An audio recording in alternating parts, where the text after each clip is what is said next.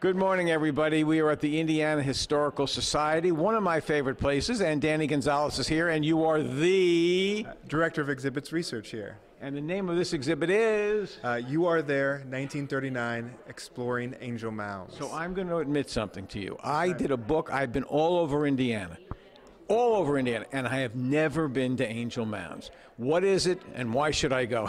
Well, first of all, it's totally okay. Yeah. Um, but hopefully you'll go and visit it. Yeah. Um, Angel Mounds is a Mississippian site, a Native American site um, that has been there since uh, about 1000 AD. So over a thousand years ago, that community began, um, and it is today a um, a maintained site um, where folks can go and learn about these early Native American communities um, because of the wonderful work of archaeologists who have been excavating there since 1939. well, let's walk around the corner because there are some great stories about the people who discovered it. So, what happened in 1939? Danny, tell me about it. No, it's a great question. Yeah, so, get on this side so we can see this great picture. There we go. yeah, so in 1939, a major excavation project began, uh, led by Glenn Albert Black, who was director of archaeology for the Indiana Historical Society, and uh, with uh, with hundreds of Works Progress Administration folks. Uh, these folks uh, in this program of the New Deal,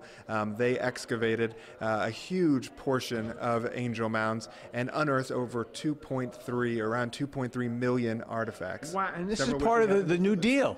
Yes, absolutely. Wow, that is yeah. awesome. Yeah. All right, now there were some Hoosiers involved because they owned the land, right? That's right. Yeah. Yeah. we have a picture here of the Grimm family, John and Lula Grimm. Um, before them, the Angel family owned the property, and that's actually where Angel Mounds gets its name from the uh, the landowners there. Fantastic. Now there are lots of different aspects of this. Oh, there's somebody here already looking. Hey, good morning. Good morning. Good morning. What's your name? My name's Stephanie Holman. Have you heard some of the stories? I have heard some of the Do stories. Do you like stories? Well, I happen to love stories. and prove that to me. Well, I've been a professional storyteller traveling the state of Indiana for the last 30 years telling stories of Indiana history. And you're going to be here today. Today, telling and you're going to wait one hour and tell me about those stories. I will. Okay, we'll be back in an hour, as a matter of fact. Stay with us.